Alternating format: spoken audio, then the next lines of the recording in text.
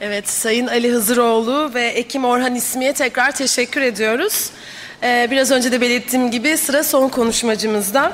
Farklı fonksiyonlarda BİM deneyimleri başlıklı konuşmasını sizlerle paylaşması adına Bold Mimarlık'tan Mimar Erdinç Çiftçi'yi sahneye davet ediyorum.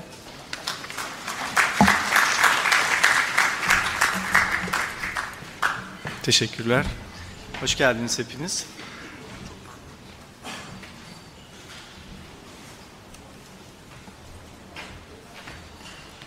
Evet, e, ben size Toka ve Bolt'ta deneyimlerimi aktaracağım. E, biz 2008'de kurulduk Toka olarak ve e, ana program olarak Revit'i seçmiştik o zaman. E, yani Ali Beylerin bahsettiği gibi iki farklı program aynı anda değil ama e, tek ana program Revit olarak başladık. Belki o şöyle bir avantaj getirdi bize. E, kullanıcılarımızın ilk başta e, büyük bir direnci oluyor. E, çünkü BIM şeyine geçtiğiniz zaman e, herhangi bir program gibi değil ama bir kavramsal mantık geliştirmeniz gerekiyor ofiste. Ve kullanıcıların da o kavramsal mantığa adapte olma süreçleri var. Bizde daha çok iş baskısı ve zaman olduğu için üreticilerden ya da sipariş verenlerden, firma sahiplerinden e, genelde o eğitim sürecine ve o kavramsal geçiş için gerekli e, vakte e, pek tanımıyoruz. E, bizim avantajımız tabii yeni bir ofis olduğumuz için e, o vakti rahat rahat kullanabildik ve e, programı oturtabildik. E, ilk başlarda tabii ki 2008'deki versiyonuyla şimdiki versiyonu arasında da Revit'in epey bir fark var. E, fakat e, ben e, birçok e, duyuyorum... E, bu programa geçmek isteyenlerin tavsiye e, oluyor ya da ofise ziyaretler oluyor o, o konuda biliyorum. E, ben daha çok e, bir kalemde ve tek e, seferde geçmenin daha avantajlı olabileceğini düşünenlerdenim. E, eğer bir ekipse e, çünkü her zaman e, bir kaçış noktası bırakmamanızı tavsiye ederim. E, Revit'le çalışılacaksa e, Revit'le başlanıp Revit'le bitirilebilir bir proje. Ee, bazı sorular da oluyor genelde. Yani Revit'le sadece işte görselleştirme mi yapılıyor ya da herkes farklı soru soruyor aslında. Sadece Revit'te metraj yapıldığını zannedenler var ya da e, sadece e, mesela uygulama projesi yapılamadığını düşünenler var. E, bir ana program olarak seçebilirsiniz ve baştan sona onu kullanabilirsiniz. Diğer bin programları da aynı şekilde. Şimdi biz neler yaptık onları aktarayım. Bu Bakü Olimpik Stadyumu 64 bin kişi kapasiteli bir olimpik stadyum. Ee, biz 2009'da başladık, 2011 gibi bitti bu proje. Ee, tüm süreçleri BİM programlarıyla yapıldı. Ee, burada BİM'i seçmemizin sebebi zaten e, ofiste baştan e, diğer disiplinlerle ya da yabancı mimarlarla, yabancı ofislerle de iletişimde olabilecek bir e, dilimiz olması açısından BİM'i seçmiştik ve bugün e, hep duyuyorum artık e, yabancı ofislerin de buraya girmesiyle e, bu entegrasyon daha hızlanmış gibi görünüyor. E, biz tabii ki e, çok denemelerle ve ofiste epey bir zaman harcayarak e, bu noktaya geldik ve e, tüm proje e, BİM tabanlı olarak bitirildi, teslim edildi. Şimdi size e, BİM'le ilgili e, BİM'i çok geniş bir kavram olarak düşünebilirsiniz. Yani sketch yaparken de kullanabilirsiniz. Çok detaylı noktalara geldiğinizde de kullanabilirsiniz. Burada ben daha önceki bir örneklerden mesela bir sol köşedeki, sol alttaki kabuğun nasıl bir şey olabileceğini MES modelinglerle basitçe bir hamur şeyi gibi kullanabilirsiniz. Ya da oradan gelen statik strüktürle ilgili şeyin nasıl oturacağını gösterebilirsiniz. Ya da onsuz sadece betonarme nasıl görünüyor? Ee, sol ve sağ köşedeki üstteki şeylerde bunlar aslında sürekli bir maket yapar gibi e, sizin elinizde bu modelin yoğrulmasını sağlıyor ve e, hani tasarımı deneyimlemek dedikleri şey e, hiç e, şey yapmadan e, daha henüz pafta sistemine geçmeden e, burada yapının içinde dolaşabiliyorsunuz. Ve bu sistemde şöyle bir şey var. Genelde e, iki boyutlu CAD programlarında e, tasarlayanlar ve mimarlar ile görselleştirme ya da onları model çevirenler aynı kişiler olmuyor. Dolayısıyla siz onu aktarabildiğiniz kadar görselleştirilebiliyor. Ama BIM'de siz zaten üç boyutlu bir model yapmaya başladığınız için e, siz kendiniz onu görselleştirmiş oluyorsunuz. Ya da görselleştirme ile ilgili ayrı bir e, dile gerek duyulmuyor. E, yani CAD ile çizdiğimiz daha önceki CAD ile çizip Max ile yapılmış bir projede e, o Max çizen kişi aynı kişi olmuyor genelde ve o kişilerin ya da outsource bile olsa e, sizin kafanızdaki modeli birebir anlaması e, çok mümkün olmuyor ve kayıp oluyor. Burada şematik tasarımla ilgili birkaç örnek koydum. Tüm kat planı görünüyor ve çok basit fonksiyonlarına göre bir, bir tool'la nerede ne fonksiyon var onları görebiliyorsunuz. Ee, buradaki sağ tarafta görünen bir legend sistemi. Ali Bey ile Ekim Bey'in bahsettiği şey e, ilk kez legend yaparken epey vaktinizi alabilir. Ama bunu bir kere yaptığınız zaman o sizin ofisinizin genel kültürü oluyor ve onu kullanabiliyorsunuz. Ya da herhangi bir template'i yaratmak çok vaktinizi alabilir. Ee, ama o vakti verin. Yani e, bu, bununla denemek istiyorsanız o hazır bir şey değil.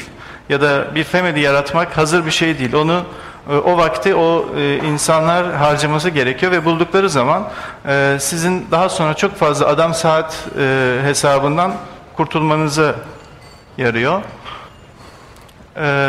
Burada gördüğünüz gibi aslında diğer herhangi bir programla yapılabilen bir şey alınabilir. Bu 500 şematik planları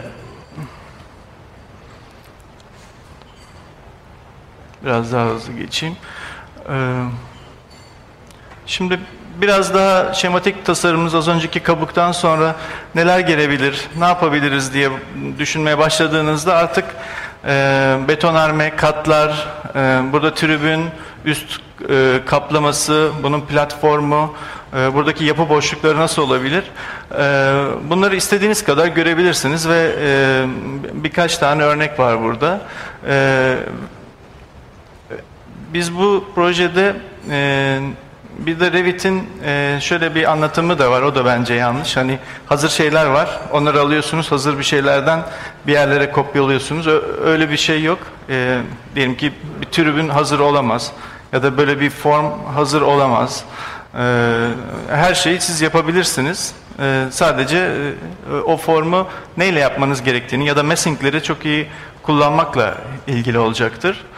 Ee, buralarda artık yapının mesela bu tip şeyler e, müşteriye sunarken de ya da meslek dışı insanların da algılaması için çok daha hızlı ve pratik ve her an ulaşılabilir sistemler. Ee, burada boy kesiti görünüyor, en kesiti görünüyor. Yani katların yükselmesini gösteriyoruz. Üstten çatı makası yavaş yavaş oluşuyor. Nasıl bir şey? Bu mesela bir 1 bölü 500 görünüş nasıl olabilir? Tüm şeyler açılmış. İçindeki e, strüktür, e, camlar, e, tribün he, hepsini görebildiğiniz gibi e, klasik sistemde bir kesit de alabilirsiniz ama ilk başta kesit aldığınız zaman e, CAD şeylerindeki kesit mantığı gibi değil. Aslında bir, bir yeri gerçekten kesiyorsunuz ve ne kadar bir ufukta bakmasını istediğinizi söylüyorsunuz. Genelde o ilk şöyle bir hata yapılıyor. Kesit alınıyor ve sonsuz ufuk olduğu için siz kesit gibi görmüyorsunuz. Kesit ve görünüş birlikte gördüğünüz bir şey elde ediyorsunuz ama bunları hep e, zaman içinde ve deneyerek oluyor. Ben biraz daha hani e, size belki ufuk açabilecek şeyleri anlatmaya çalışıyorum. Bu biraz daha büyük artık bir çatı planı elde edebilirsiniz. Ee, burada bizim beş tane kabuğumuz vardı. Ee, model olduğu için e, tabii ki onlar ve birbirinin içine geçen bir kabuk sistemindeydi. Ee, üç boyutlu bir model üzerinden çalışmanın birçok avantajı oldu orada. Mesela bir kabuğu böyle tanımlayabildik biz ancak. İşte sağ üst köşede bunun e, bir e, perspektif görüntüsü var. E, planı var, e, kesitleri var ve görünüşleri var.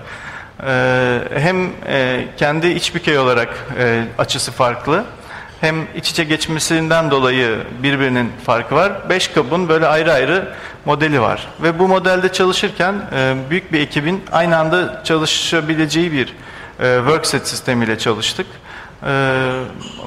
Bu workset sisteminden de şöyle bahsedebilirim. Siz e, projenin herhangi bir yerinde görevliyseniz bile e, projenin tamamına e, hakim olabilirsiniz. Yani e, birisi makasları modelliyorsa mesela cepheye uymayan bir şey varsa o cepheyi orada görebiliyor ve e, böylelikle ofisteki o kavramsal ve e, hiyerarşik şey biraz değişmeye başlıyor.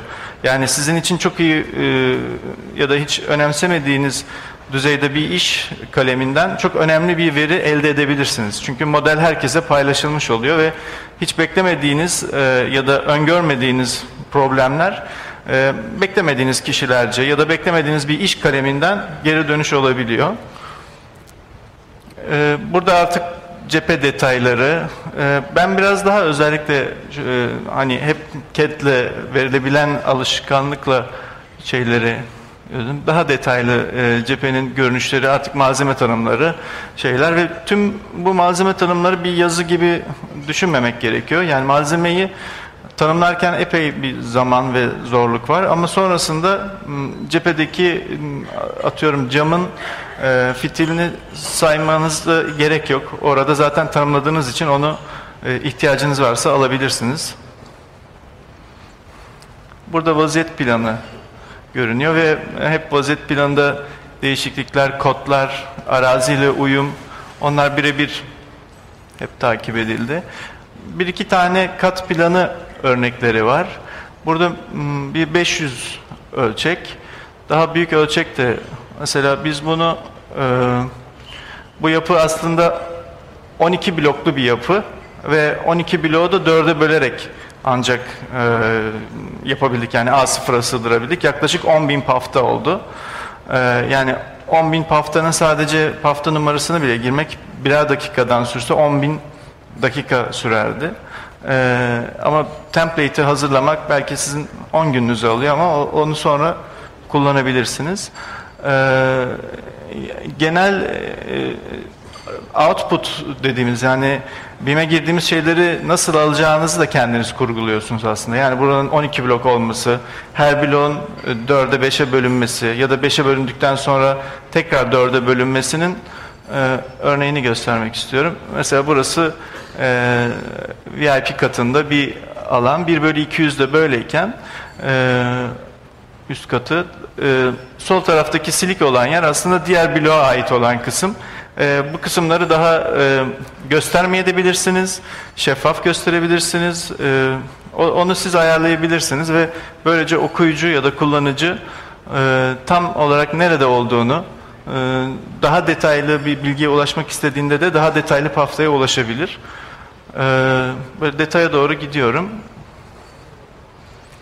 Kesitler az önceki ilk gösterdiğim kesit tabi bunu ayarlamazsanız ilk gösterdiğim kesit gibi olur. Yani arkadaki her şey görünür.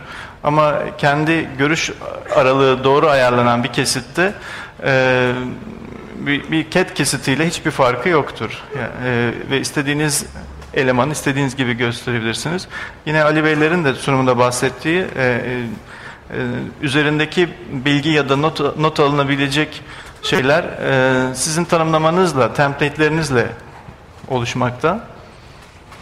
Ee, biz burada tabii ki bir, sürü kesit kullandık ve bir sürü kesit yaptık. Bunun problemi tabii ki e, sahada e, herkesin BIM henüz kullanamadığını biliyoruz. Yani e, öyle bir e, duruma geldiğimizde belki de hiç bu ara e, pafta haline gelmeden kesit e, almak gerekiyorsa o sahadaki kişi alabilir ya da üretici alabilir durumuna da gelinecektir. Ee, burada 1 bölü 20 detaylar, e, call out kullanım var. En üst e, köşedeki diyelim ki çatı etfe detayının e, nasıl bir şey olduğunu ve şöyle bir şey var. Bunu modellediğiniz zaman modeli kullanabilen bir ofis ya da şantiye yönetimi istediği noktadan istediği ölçüye geçebilir. Sadece mimarın seçtiği noktalardan geçmekle sınırlı kalmayacaktır. E, şimdi yeni e, şeylerde, e, şartnamelerde, BİM'le istenen şartnamelerde birçok bu tip şey var, e, clause var. E, bu tribünlerle ilgili bir çalışma. Mesela tribün, farklı tribün detaylarının nasıl uygulanacağını ve yerinde nasıl monte, monte edileceğini, üretimin nasıl yapılacağını anlatıyorum. Ee, şimdi e, bu gördüğünüz e, bazı duvar detayları. Ee, hep bu soru soruluyor bana. Family e, ya da duvar detayı hazır var mı gibi ya da duvar detayı aslında hiç hazır bir şey yok. Ee, fakat siz biz bunları artık belli bir deneyim kazandıktan sonra herhangi bir projeye başlarken tüm yapı elemanlarını tanımlamaya çalışıyoruz olabildiğince. Ee, kullandığınız duvar, e, döşemeler, kapılar e, mümkün değil tabii ki sonuna kadar tanımlamanız ama e, tanımlayabildiklerinizi tanımlarsanız e, ve baştan bunları kullanırsanız e, daha sonra e, yüzlerce tipi tek tipe çevirmek ya da tek tipi yüzlerce tipe çevirmekle uğraşmıyorsunuz. Gerçekten temiz bir modeliniz oluyor. E, gerçekten kullanma ihtimaliniz olan duvarları kullanmış oluyorsunuz. Ya da e, bazı problemlerle, gösterim problemleriyle karşılaşmıyorsunuz. Birkaç tip diyelim ki seramik kaplı bir duvarı alçıpanla e, birleştirmek istemiyorsanız böyle bir şey yazıp e, bunu ofisinizde ve modelinizde engel olabiliyorsunuz baştan. E, bu kapı e, detayları e, bir kere yarattıktan sonra istediğiniz kadar e, değiştirebilirsiniz, modifiye edebilirsiniz. E, ya da kapının üzerindeki e, tüm bilgiler, e, yangın sınıfı, akustik sınıfı e, ya da ne istiyorsanız o kapıyla birlikte size e, ulaşılabilir hale geliyor. E, bu da aslında tasarımda e, birçok şeyin e, zaman kazandıran sistemler oluyor. E, burada da döşeme tipleri var. E, bu işte az önce bir soru vardı. Statikle nasıl şey yapılıyor? Ee, biz genelde döşemeleri tek tip ve sadece tek bir şeymiş gibi düşünürüz ama onlar farklı davranırlar ve onların e, farklı tasarlanma şeyleri vardır. E, statik bir e, inşaat mühendisliğinden gelen e, her doneyi ayrı bir e, döşeme tipi olarak yaratırsanız e, bu size kaplamayla ilgili, e, ya da araç geçişi ya da insan sirkülasyonu, zonlama ile ilgili, yangınla ilgili, depremle ilgili epey bir veri sağlamış oluyor ve e, modelde de gerçek bir model oluyor. Yani statiğe tekrardan gidip e, döşemenin, e, kirişin e, boyutlarını tekrar kontrol etmeniz gerekmez. Bu bir e, 1 bölü 20 ıslak hacim detayı. E,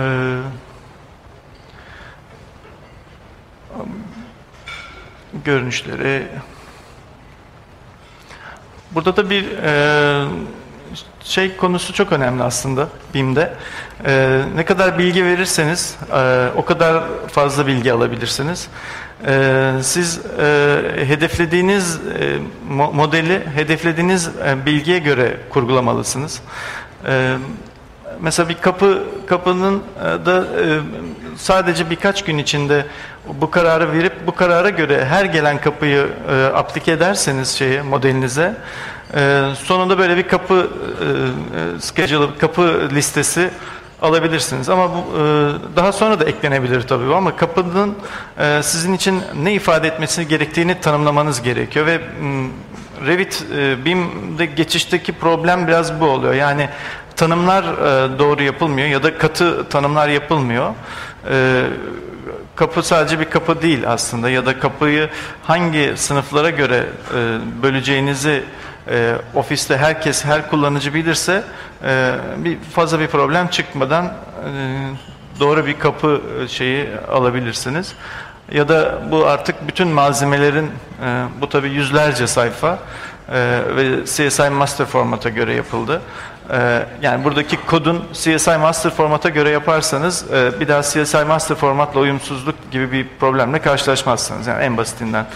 e, ya da level e, ayarlanıyorsa ya da blok blok ihale edilecekse proje ona göre bloklara ayırmanız gerekir gibi e, biraz da e, projenin yapım sürecini de irdeleyen bir hmm, bir, bir tarafınız ol, olmalı. Yani uygulama projesini, BİM'le uygulama projesi yaparken. E, stadyumda örneklerim bu kadar. Bu e, fiziki modeli, e, ofisin görüntüsü. Şimdi bu daha eski ilk yaptığımız işlerden biri 2008'deki şey böyleydi. Ee, bir e, vaziyet planı çalışması. Bu e, Yevlak Tohum İşleme Tesisi'nin vaziyet planı.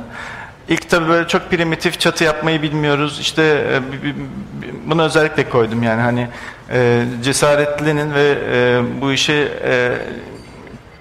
böyle başlanıyor. Yani ilk başta malzemeler, şeyler çok kolay değil. Hepsi zamanla oluyor. E, fakat e, yine de bunda bile e, aslında bu bir e, iki boyutlusundan üç boyutluya geçtiğiniz zaman o şeyi yaşıyorsunuz. Yani evet bu bir üç boyutlu bir hareket. Yavaş yavaş ben modelin içindeyim. Bunu ben mi yaptım şeyine giriyorsunuz. E, mesela ilk çok e, primitif skeçler e, ama bunlar hep sizin görmek istediğiniz açıları gösteren ya da burada bir tohum, e, bir fabrika bu. Ee, ve işte kamyon liftleri, silolar, e, bunların yapılarla nasıl olduğu gölgeler e, bir fikir veriyor. Bu mesela biraz daha aynı noktadan eski bir render'ı buldum. Burada artık e, bazı materyaller var ama hiç çalışılmamış. E, sunumun devamında bu materyaller çalışınca gerçekten e, o fotorealistik görüntüye de e, ulaşabildiğimiz projeler oldu. Onlardan da örnekler var.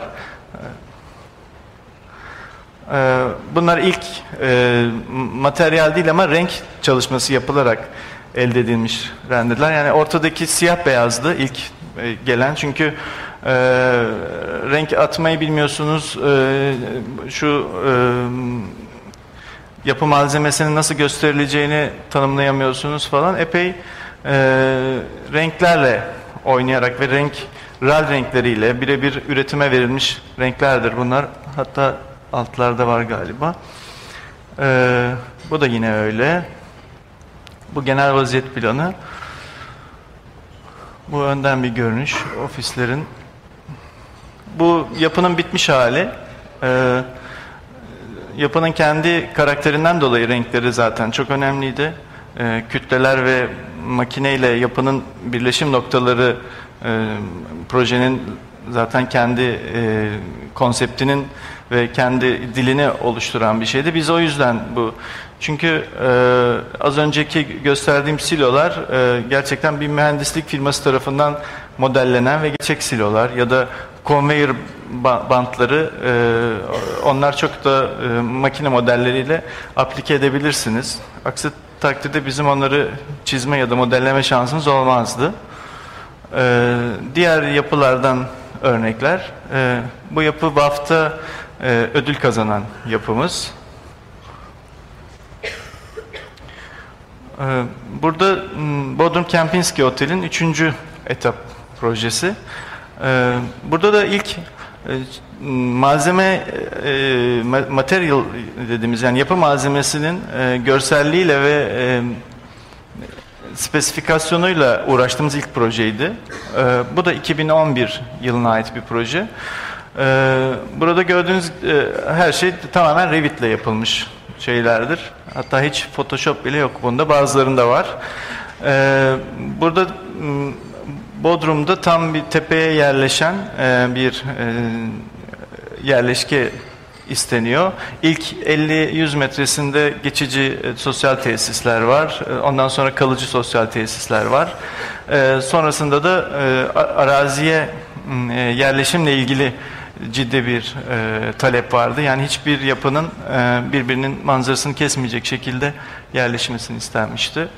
E, bu vaziyet planı e, bize bir böyle bir yapı geldiği zaman hemen e, bir e, dijital haritasını modelliyoruz öncelikle.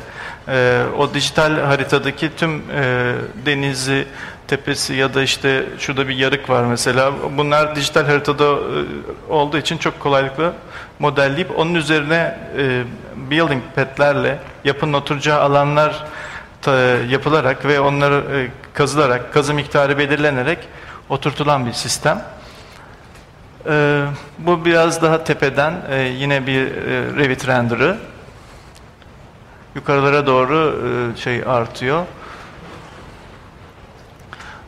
Hep bir silüet, o tepeye yerleşim arayışlarından örnekler veriyorum. Bu, bu modelde tabii ki hepsi bir arada ve burada e, worksetlerle çalışıldı. E, bu sosyal tesisin yerleşmesi tepeye kadar. Burada da daha küçük ölçekte konsepte 1 bölü 100 ya da 1 bölü 200'lerde e, küt, kütle hareketleri ya da planlar, e, planların içindeki metrekareler, e, alanların tanımlanması, o lejantları falan e, veriliyor. Daha büyük istediğinizde 1 bölü yüzde artık kat planlarını elde edebilirsiniz. Renkler yine aynı ya da renkleri siz baştan seçebilirsiniz. Bu spesifikasyonlara kadar bu renkleri kullanabilirsiniz. Ee, burada görünüşler tabi bunlar biraz daha artistik e, görünüşler olsun diye ama da az önce gösterdiğim projede teknik görünüşler de elde edebilirsiniz. Bunlar Revit renderlarıdır. Ee, hatta şeylerin e, ağaçları falan hepsi Revit'te yapılmış. Ee, malzeme dediğim mesela bu taş aslında Revit'te olan bir olan bir taş. Standart family'sinde olan, aldığınız programda olan bir taş ama e, üzerinde epey bir çalışıp bunu bu hale getirmiştik. Çünkü onun parametrelerini e, ayarlamazsanız e, bu taşı birçok çoklu taş gibi yapıyor ve böyle yapıştırılmış bir şey gibi oluyor. E, yani mevcut duvara göre ayarlandı bu materyaller. Bu diğer bir tip. Ee, ve tüm bu tipler, tüm bu e, bilgiler aynı e, model üzerinde olması sizin kullanıcılarınız arasındaki e, bağı da güçlendirmiş oluyor ve e, bir sürprizle karşılaşmıyorsunuz. Bu bu tipin render'ı. E, bu tepedeki rezidansların e, bir perspektifi. E, biz hep tasarım ve bu tasarımı anlatabilmek için hep şeyle e, çok uğraştık. E, görselleştirmenin çok e, önemli olduğunu düşünüyoruz ama bir taraftan da hani yapılan görselleştirme daha sonra uygulamaya geldiği zaman e, o Max modelinde ya da e, parametrik olmayan modelden gerçek e, bizim ifademizle iki boyutlu ya da üç boyutlu çizimlere geldiği zaman da çakışmasını e, hedefledik. O yüzden e, biz e, tüm projeyi Revit'te modellemeyi tercih ediyoruz. Burada da e, denizle birleşen sosyal tesisin hem bir silüet paftası hem istediğiniz kadar istediğiniz e, görünümde kesitleri, görünüşleri e, görünüyor. Bu e, onun iç planları yani çatıyı kaldırıp altına baktığımız hali. Yine kesitleri. Evet bu bir başka proje daha yeni. Ee, geçen yıl yaptık. Ankara'da Avrupa Mahallesi'nin e, bu da ikinci etabı. Yani ilk iki etap ikinci etabı. Ee, burada da bir toplu konut aslında. Ve bu toplu konutta e, metrekareler çok e, baskındı yine. İşte 149 metrekare olacak, 99 metrekare olacak gibi e, bir şey vardı. Ve o tiplerin e, bu kadar büyük e, bir alanda tek tek yerleştirilmesi ve e, e, tüm net alanlar, brüt alanların çok doğru hesaplanması gerekiyordu. Genelde bu işler sonradan yapıldığı zaman tüm projelerde, çekirdeklerde ya da boşluklarda bir değişiklikler yapılarak halledilir ama biz baştan tipleri belirleyip tiplere göre yapıları oluşturmaya çalıştık. Burada da yine merkezde bir havuz var, büyük bir havuz var. O havuzun e, havuza bakan daireler hedefleniyor ve e, yine birbirine manzarayı kesmeyecek şekilde bir e, şey var, amacı var vaziyet planının. E, az önceki projeye benzer bir şekilde hep önde arkada e, daha yüksek bloklar ara boşluklarla yerleşiyor. Bunlar e, yapının e, alt kotundan yukarıya doğru bakış. Yine diğer taraftan e, üst yoldan alt üst yoldan yapıya doğru bakıyoruz. Alttaki resim de o e, çukur bir araziye nasıl yerleşildiğini gösteriyor. Ee, yine burada topografyanın gerçekten bir yapı elemanı olarak kullanılması çok önemli. Ee, bizde genelde yapılar birbirinden kopuk temelleri varmış gibi e, yapmaya alışmışız ama tek bir topografya üzerinde bunların nasıl yerleştiğini ya da bunların birbirine nasıl ilişkide bulunduğunu pek göstermeyiz. Ee, belki de böyle bir aracın e, yararı onu biz her noktada görebiliyoruz ya da değiştirebiliyoruz. Ee, bu en küçük birim görevleri diye adlandırmıştık. Ee, burada da şu ortadaki kısmı epey bir uğraşmıştık. Bu e, bakır bir e, malzemenin dönerek kaplanabilen bir hali. Mesela bu tip e, dönüşleri yapmak e, mümkün. Yani profiller atayarak e, gerçekten orayı nasıl e, kaplanacağını bilirseniz o kaplamaya göre e, içine bir profil atayarak o, o şeyi elde edebildik.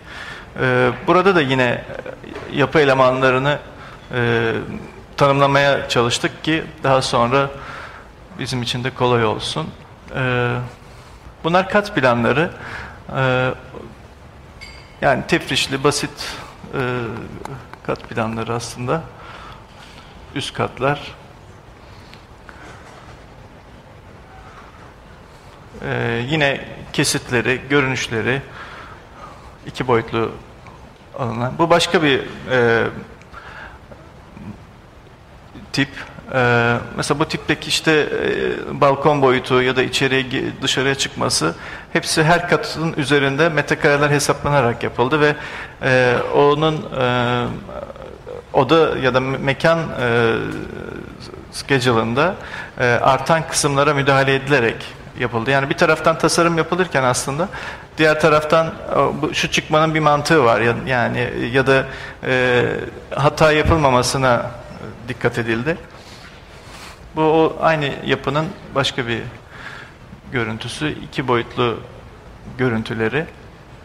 Yani özellikle konut fonksiyonunda e, ben BIM programının çok yararlı olduğunu görüyorum. Çünkü çok tekrarlayan eleman var. E, çok e, hele böyle seri üretim yapan bir e, inşaat grubu ya da bir e, buna çalışan bir şeyse e, bu tekrarları aslında e, burada baksanız belki 5 tip malzeme var. Ama tüm yapıda bunu kullanıyorsunuz. Ya da iç detaya girdiğinizde tüm mutfakların ya da onların o standartizasyon ihtiyaçlarını sağlayabilirsiniz. Hatta biz bunun e, bir, bir küçük modelini vermiştik sahada. Onlar üretirken bile işte o metrekareye çok hassas oldukları için e, yaptıklarında e, çünkü BIM kendisi ortadaki alanın metrekaresini ya da boyutunu verdiği için as built gibi de kullandılar. Bu onun modeli. E, burada da bir var. Biz ofisteki arkadaşlarımızla birlikte çok hızlı arada bir yarışmaya girelim diye şey yaptık. Hani yarışma projesi örneği de e, tabii biz kazanamadık. Daha iyi bir proje kazandı. Ama e, tüm o yarışma mantığını çok hızlı, e, çok kişiyle ve e, aynı anda yapıp bitirmek e, üzerine kurgulanmış bir proje. Bu e, Şişli Lisesi yarışması.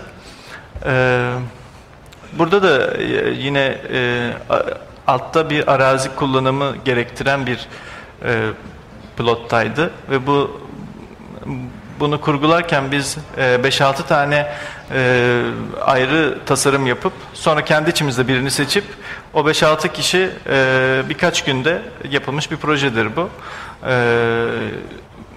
Bazı şeyleri belli tasarımlardan yani o 5-6 projenin iyi noktalarından alınmış ve ortak yapılmış bir projedir bu. Ee, yine biz e, modeli bitirdikten sonra zaten e, fiziki modele gönderirken aslında e, elimizde tüm e, planlar, e, açık sistem kesitleri, e, cephe detayları her şey vardı. Ve böylelikle biz son ana kadar e, projenin tasarımıyla uğraşmaya vaktimizi ayırdık. E, sonrasında zaten bu planları export etmek çok kolay bir iş oluyor. Yani sizin için bir günde yapılabilecek bir iş haline geliyor. E, tüm perspektifleri, e, görünüşleri var burada, kesitler var. E, bir detay isteniyordu, detay kesiti, basit bir detay kesiti var. Şu orta avlunun e, üst kapanması ve bir e, konferans ve kütüphane merkezi yapmıştık merkezde. Onu anlatmaya çalıştık orada. Ee, bu Bakü'de e, öneri bir projedir bu. Bakü Şehir Otogarı. Ee, bu, burada da örnek olarak MES modeling ile ilgili bir şey var. Bu aslında tek MES'ten yapılmış bir proje. Ee, çok basit e, şeyi. E, modeli çok basittir. E, fakat şeyi e, ce, cevap verebiliyor. Yani bir e, kırık prizmanın e, modellenmesiyle oluşturulmuş bir yapı şöyle söyleyelim. Ön tarafından e, girişi var ve bir otel kompleksi var tepesinde. E, bu otel kompleksinin e, otobüslerin hareket ettiği alanla çok e, görsel etkisini kıracak şekilde böyle bir yeşil çatıyla dönmüştü. Bu e, prizma mod, mesh modeling'dir. İçindeki boşluklar hep void mesh'lerle yapılmıştır. E, mesh modeling epey e, işe yarayan bir e, enstrüman. Yani standart dışı bir şeyler, bir formlar arıyorsanız onu çok kullanabilirsiniz. Bu yapının üstten bir perspektifi. E, yine sadece MES modelingin içinde yaratılmış florlar ya da burası aslında bir prizma ama yarısı çıkartılarak elde edilmiş bir prizma. Diğer yarısını görmüş oluyoruz. Ama işte şey BIM'le çalışırken bu kurguyu önce yapmanız lazım. Yani e, önce bir tam prizma yapıp daha sonra bunun yarısını gösterip yarısını göstermeyeceğiniz kurgusunu baştan yaparsanız o zaman e, mes e, şeyini e, elemanını do doğru kurgulamış olursunuz. E, e, bu yapının e, katlarını ve fonksiyonunu anlatan en basit şekilde e, nereden geliyor, ne var, otel nerede, e, alışveriş merkezi nasıl, çatısının sistemi nasıl, onu anlatmak amacıyla yapılmış bir şey. E, bu, bu section box'la alınmış bir görüntü. Bu section box'lar çok aslında e, faydalı çünkü e, biz hep dış ve iç gösteriyoruz. İkisini birlikte pek göstermiyoruz. E, ya da plan gösteriyoruz. Planı e, gösterdiğimiz kişi çok anlamıyor. Hemen e, bunun görselini istiyor. Ama e, bu biraz daha maket mantığı var. Ya, yani kesik bir maket gibi oluşturuyorsunuz. Biz bunu çok kullanıyoruz. Bu e, iyi bir şey. Bu son projemiz İstanbul'da bir ofis binası. Burada da cephesi önemli bunun. Ee, biz burada cephesini e, güneş korunumlu bir cephe hedefliyoruz. Hem gölge sağlayacak hem de kendisi biraz enerji sağlayacak. Ee, bunu diğer programlarla güneş hareketini e, yapıya nasıl entegre edeceğimizle ilgili bir çalışma halindeyiz. Şu anda halen bunun üzerinde çalışıyoruz. Ee, ve yapıda görünen şu siyah şeyler e, güneş korunumu ile ilgili gerekliliklere göre tasarlanıyor. Yani bir parametrik bir e, alan yaratıyoruz. Diyelim ki yüzde 40 bu güney cephede e, güneş korunumu. E, bu parametreyle cephedeki şeyler belirleniyor. Bu yapının görüntülerinden bazıları yine iki cephedeki o siyah noktaların yani e, güneş koruma ve güneş e, enerji elde etme noktalarının nasıl yerleştirileceğini anlatıyoruz.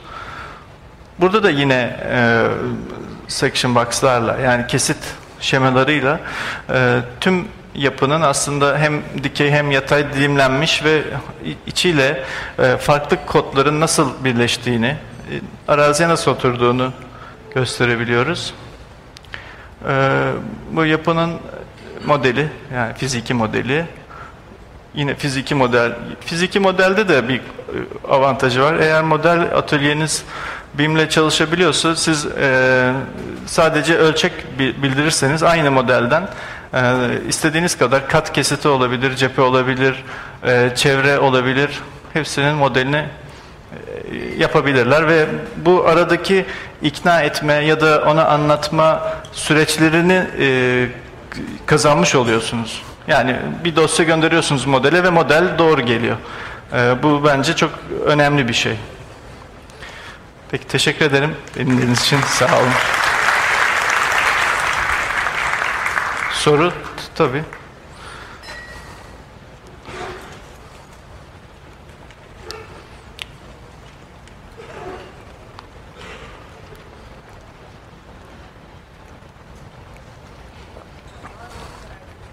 Peki. Evet Erdinç Bey'e çok teşekkür ediyoruz. Ee, toplantımızın sonuna geldik. Başta Autodesk olmak üzere siz değerli izleyicilerimize de e, ve konuşmacılarımıza elbette katkı ve katılımlarından ötürü çok teşekkür ediyoruz. Ee, bir sonraki Yapı Endüstri Merkezi etkinliğinde görüşmek üzere. Afiyet olsun, iyi günler diliyorum.